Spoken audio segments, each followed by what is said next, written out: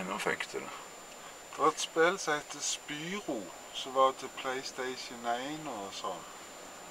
Noen drager som ungene var galne etter. Og hver gang du gjorde et sånn uh, skup, så kom den lyden der. Ja. Den der kameraet. Pling-greiene. Ja. Jo. Jeg syns jeg nesten kjenner den igjen fra et eller annet. Kanskje det er der? jo. Ja. For jeg har ikke klart å plassere. Det var ei